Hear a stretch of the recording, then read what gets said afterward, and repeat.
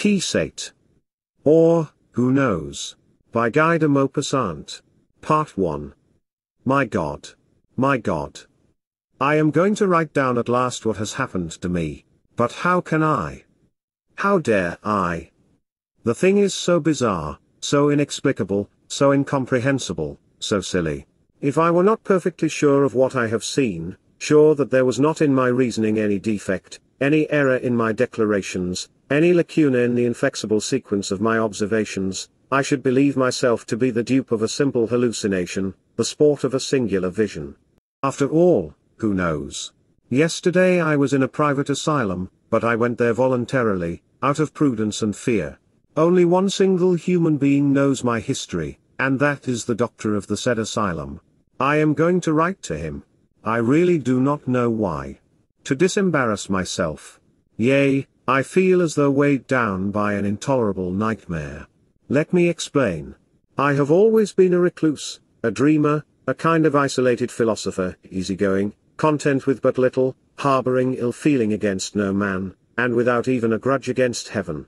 I have constantly lived alone, consequently, a kind of torture takes hold of me when I find myself in the presence of others. How is this to be explained? I do not know. I am not averse to going out into the world, to conversation, to dining with friends, but when they are near me for any length of time, even the most intimate of them, they bore me, fatigue me, enervate me, and I experience an overwhelming, torturing desire to see them get up and go, to take themselves away, and to leave me by myself. That desire is more than a craving, it is an irresistible necessity. And if the presence of people with whom I find myself were to be continued, if I were compelled, not only to listen, but also to follow, for any length of time, their conversation, a serious accident would assuredly take place. What kind of accident? Ah. Who knows? Perhaps a slight paralytic stroke. Probably. I like solitude so much that I cannot even endure the vicinage of other beings sleeping under the same roof. I cannot live in Paris, because there I suffer the most acute agony. I lead a moral life, and am therefore tortured in body and in nerves by that immense crowd which swarms and lives even when it sleeps. Ah. The sleeping of others is more painful still than their conversation. And I can never find repose when I know and feel that on the other side of a wall several existences are undergoing these regular eclipses of reason. Why am I thus? Who knows? The cause of it is very simple perhaps. I get tired very soon of everything that does not emanate from me. And there are many people in similar case. We are, on earth, two distinct races. Those who have need of others, whom others amuse, engage soothe, whom solitude harasses, pains, stupefies, like the movement of a terrible glacier or the traversing of the desert, and those, on the contrary, whom others weary, tire, bore, silently torture, whom isolation calms and bathes in the repose of independency, and plunges into the humours of their own thoughts. In fine, there is here a normal, physical phenomenon. Some are constituted to live a life outside of themselves, others, to live a life within themselves.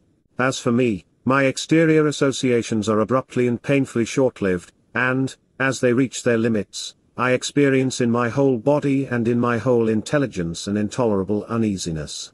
As a result of this, I became attached, or rather had become much attached, to inanimate objects, which have for me the importance of beings, and my house has or had become a world in which I lived an active and solitary life, surrounded by all manner of things, furniture, familiar knickknacks, as sympathetic in my eyes as the visages of human beings.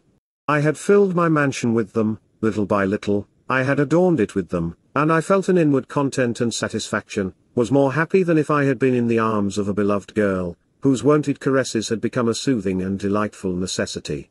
I had had this house constructed in the center of a beautiful garden, which hid it from the public highways, and which was near the entrance to a city where I could find, on occasion, the resources of society, for which, at moments, I had a longing. All my domestics slept in a separate building, which was situated at some considerable distance from my house, at the far end of the kitchen garden, which in turn was surrounded by a high wall.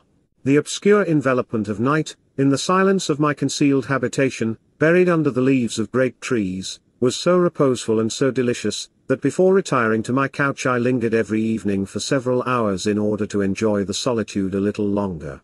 One day Sigurd had been played at one of the city theatres.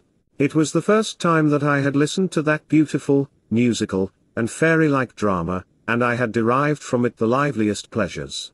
I returned home on foot with a light step, my head full of sonorous phrases, and my mind haunted by delightful visions.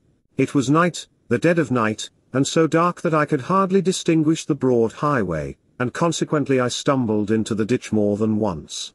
From the custom house, at the barriers, to my house, was about a mile, perhaps a little more a leisurely walk of about twenty minutes. It was one o'clock in the morning, one o'clock or maybe half past one, the sky had by this time cleared somewhat, and the crescent appeared, the gloomy crescent of the last quarter of the moon. The crescent of the first quarter is that which rises about five or six o'clock in the evening and is clear, gay, and fretted with silver, but the one which rises after midnight is reddish, sad, and desolating it is the true Sabbath crescent. Every prowler by night has made the same observation. The first, though slender as a thread, throws a faint, joyous light which rejoices the heart and lines the ground with distinct shadows, the last sheds hardly a dying glimmer, and is so one that it occasions hardly any shadows. In the distance, I perceived the sombre mass of my garden, and, I know not why, was seized with a feeling of uneasiness at the idea of going inside. I slackened my pace, and walked very softly, the thick cluster of trees having the appearance of a tomb in which my house was buried. I opened my outer gate and entered the long avenue of sycamores which ran in the direction of the house, arranged vault-wise like a high tunnel, traversing opaque masses, and winding round the turf lawns, on which baskets of flowers, in the pale darkness, could be indistinctly discerned. While approaching the house, I was seized by a strange feeling. I could hear nothing, I stood still. Through the trees there was not even a breath of air stirring. What is the matter with me? I said to myself. For ten years I had entered and re-entered in the same way, without ever experiencing the least inquietude. I never had any fear at nights. The sight of a man, a marauder, or a thief would have thrown me into a fit of anger, and I would have rushed at him without any hesitation. Moreover, I was armed I had my revolver. But I did not touch it, for I was anxious to resist that feeling of dread with which I was seized. What was it? Was it a presentiment that mysterious presentiment which takes hold of the senses of men who have witnessed something which, to them, is inexplicable? Perhaps. Who knows? In proportion as I advanced, I felt my skin quiver more and more, and when I was close to the wall, near the outhouses of my large residence, I felt that it would be necessary for me to wait a few minutes before opening the door and going inside. I sat down, then, on a bench, under the windows of my drawing room. I rested there, a little disturbed, with my head leaning against the wall, my eyes wide open, under the shade of the foliage. For the first few minutes, I did not observe anything unusual around me, I had a humming noise in my ears, but that has happened often to me. Sometimes it seemed to me that I heard trains passing, that I heard clocks striking, that I heard a multitude on the march. Very soon, those humming noises became more distinct, more concentrated, more determinable, I was deceiving myself. It was not the ordinary tingling of my arteries which transmitted to my ears these rumbling sounds, but it was a very distinct, though confused, noise which came, without any doubt whatever, from the interior of my house. Through the walls I distinguished this continued noise, I should rather say agitation than noise, an indistinct moving about of a pile of things, as if people were tossing about, displacing, and carrying away surreptitiously all my furniture. I doubted, however, for some considerable time yet, the evidence of my ears. But having placed my ear against one of the outhouses, the better to discover what this strange disturbance was, inside my house, I became convinced, certain, that something was taking place in my residence which was altogether abnormal, and incomprehensible. I had no fear, but I was how shall I express it paralyzed by astonishment. I did not draw my revolver, knowing very well that there was no need of my doing so. I listened a long time, but could come to no resolution, my mind being quite clear, though in myself I was naturally anxious. I got up and waited, listening always to the noise, which gradually increased, and at intervals grew very loud, and which seemed to become an impatient, angry disturbance, a mysterious commotion. Then, suddenly, ashamed of my timidity, I seized my bunch of keys. I selected the one I wanted, guided it into the lock, turned it twice, and pushing the door with all my might, sent it banging against the partition. The collision sounded like the report of a gun, and there responded to that explosive noise, from roof to basement of my residence, a formidable tumult. It was so sudden, so terrible, so deafening, that I recoiled a few steps, and though I knew it to be wholly useless, I pulled my revolver out of its case. I continued to listen for some time longer. I could distinguish now an extraordinary pattering upon the steps of my grand staircase, on the waxed floors, on the carpets, not of boots, or of naked feet, but of iron and wooden crutches, which resounded like cymbals. Then I suddenly discerned, on the threshold of my door, an armchair, my large reading easy chair, which set off waddling. It went away through my garden. Others followed it, those of my drawing room, then my sofas, dragging themselves along like crocodiles on their short paws, then all my chairs, bounding like goats, and the little footstools, hopping like rabbits. Oh! What a sensation!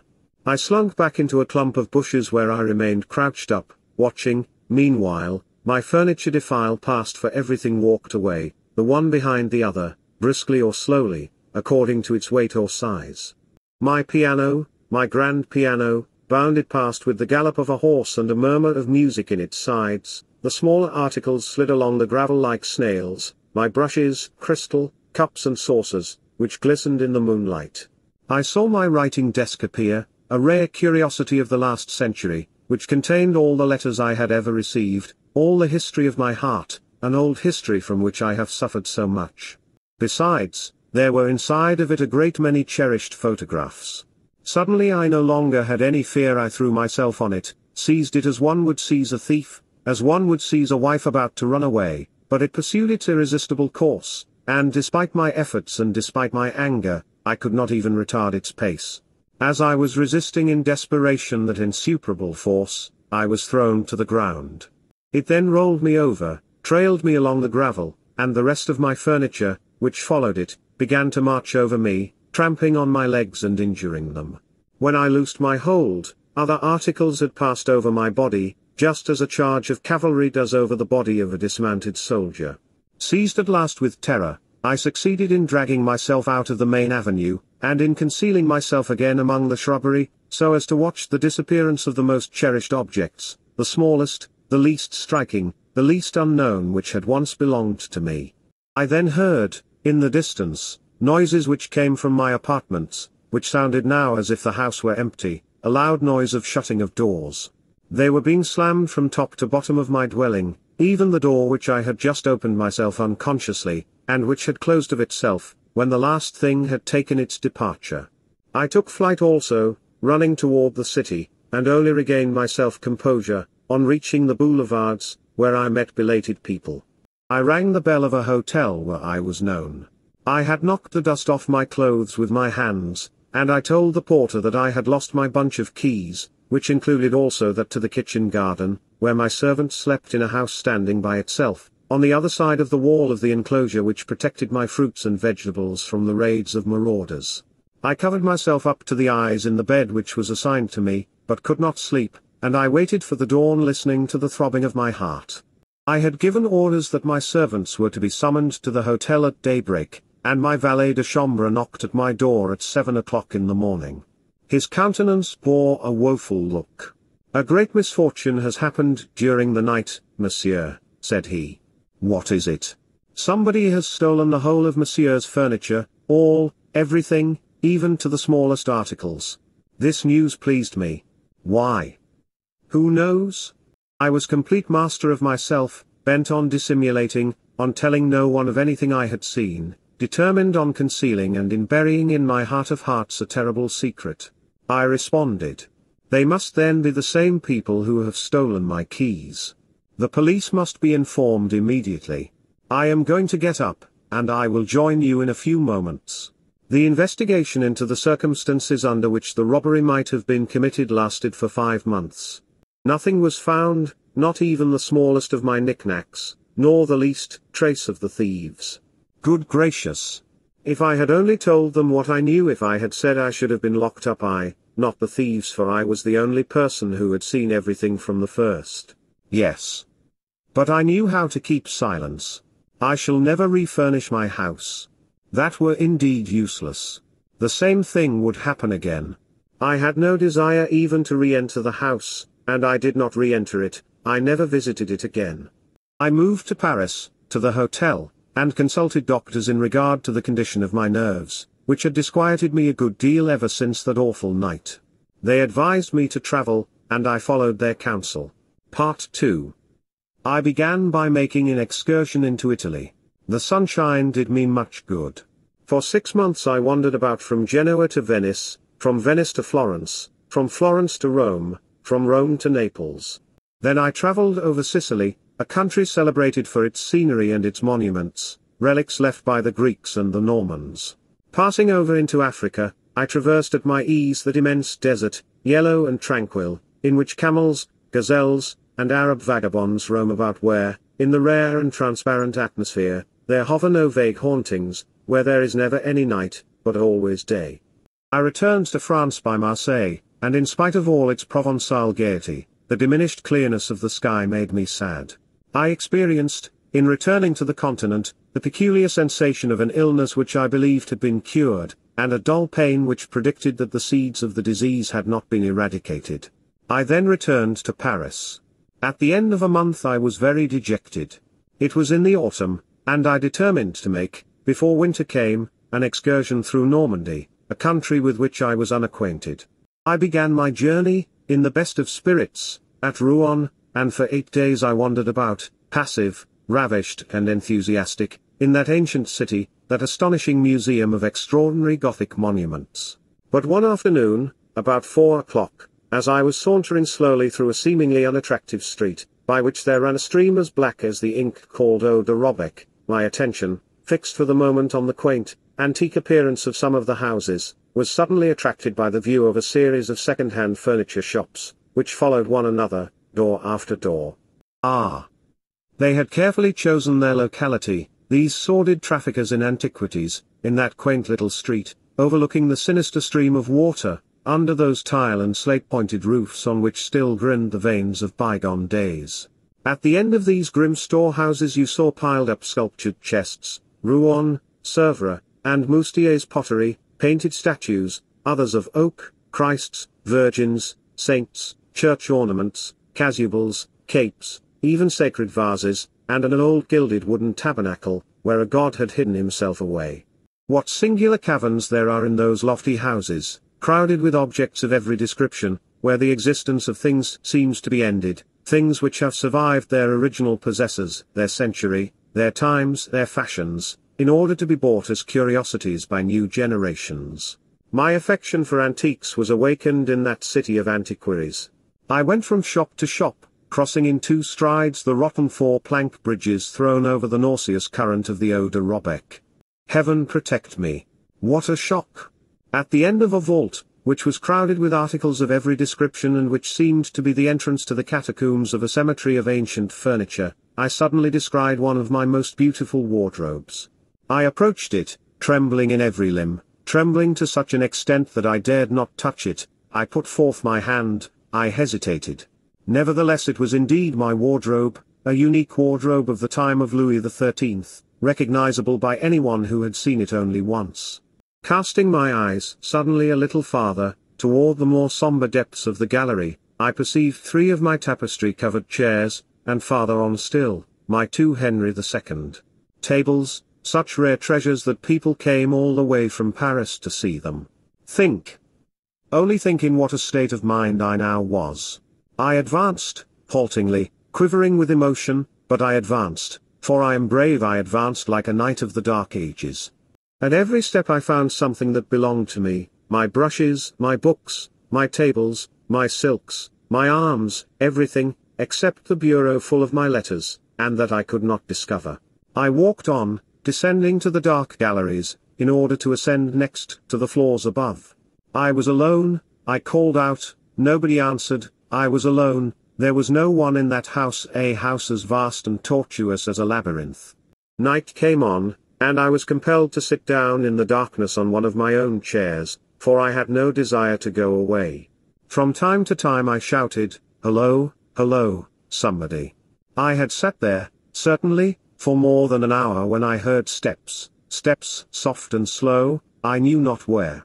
I was unable to locate them, but bracing myself up, I called out anew, whereupon I perceived a glimmer of light in the next chamber.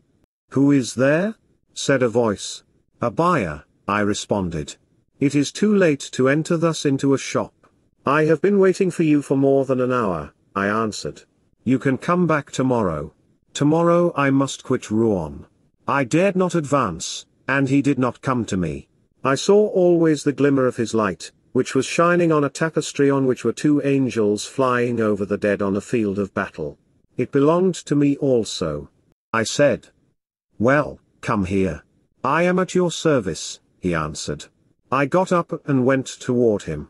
Standing in the center of a large room, was a little man, very short, and very fat, phenomenally fat, a hideous phenomenon. He had a singular straggling beard, white and yellow, and not a hair on his head not a hair. As he held his candle aloft at arm's length in order to see me, his cranium appeared to me to resemble a little moon, in that vast chamber encumbered with old furniture. His features were wrinkled and blown, and his eyes could not be seen. I bought three chairs which belonged to myself, and paid at once a large sum for them, giving him merely the number of my room at the hotel. They were to be delivered the next day before nine o'clock. I then started off. He conducted me, with much politeness, as far as the door. I immediately repaired to the commissaire's office at the Central Police Depot, and told the commissaire of the robbery which had been perpetrated and of the discovery I had just made. He required time to communicate by telegraph with the authorities who had originally charge of the case, for information, and he begged me to wait in his office until an answer came back. An hour later, an answer came back, which was in accord with my statements. I am going to arrest and interrogate this man, at once, he said to me, for he may have conceived some sort of suspicion, and smuggled away out of sight what belongs to you. Will you go and dine and return in two hours, I shall then have the man here, and I shall subject him to a fresh interrogation in your presence. Most gladly, monsieur. I thank you with my whole heart. I went to dine at my hotel, and I ate better than I could have believed. I was quite happy now, thinking that man was in the hands of the police. Two hours later I returned to the office of the police functionary, who was waiting for me. Well, monsieur, said he, on perceiving me, we have not been able to find your man. My agents cannot put their hands on him. Ah. I felt my heart sinking. But you have at least found his house? I asked. Yes, certainly, and what is more, it is now being watched and guarded until his return. As for him, he has disappeared? Disappeared. Yes, disappeared. He ordinarily passes his evenings at the house of a female neighbor, who is also a furniture broker, a queer sort of sorceress, the widow Bedoin. She has not seen him this evening and cannot give any information in regard to him. We must wait until tomorrow. I went away. Ah. How sinister the streets of Rouen seemed to me, now troubled and haunted. I slept so badly that I had a fit of nightmare every time I went off to sleep. As I did not wish to appear too restless or eager, I waited till 10 o'clock the next day before reporting myself to the police. The merchant had not reappeared. His shop remained closed. The commissary said to me, I have taken all the necessary steps. The court has been made acquainted with the affair. We shall go together to that shop and have it opened, and you shall point out to me all that belongs to you. We drove there in a cab. Police agents were stationed round the building, there was a locksmith, too, and the door of the shop was soon opened. On entering, I could not discover my wardrobes, my chairs, my tables, I saw nothing, nothing of that which had furnished my house, no, nothing, Although on the previous evening, I could not take a step without encountering something that belonged to me. The chief commissary, much astonished, regarded me at first with suspicion. My God, monsieur, said I to him, the disappearance of these articles of furniture coincides strangely with that of the merchant. He laughed. That is true. You did wrong in buying and paying for the articles which were your own property, yesterday. It was that which gave him the cue. What seems to me incomprehensible, I replied, is that all the places that were occupied by my furniture are now filled by other furniture. Oh! Responded the commissary, he has had all night, and has no doubt been assisted by accomplices. This house must communicate with its neighbors. But have no fear, monsieur, I will have the affair promptly and thoroughly investigated. The brigand shall not escape us for long, seeing that we are in charge of the den. Ah! My heart, my heart, my poor heart, how it beats. I remained a fortnight at Rouen. The man did not return. Heavens! Good heavens! That man, what was it that could have frightened and surprised him? But, on the sixteenth day, early in the morning, I received from my gardener, now the keeper of my empty and pillaged house, the following strange letter. Monsieur, I have the honor to inform Monsieur that something happened, the evening before last, which nobody can understand, and the police no more than the rest of us. The whole of the furniture has been returned, not one piece is missing everything is in its place, up to the very smallest article. The house is now the same in every respect as it was before the robbery took place.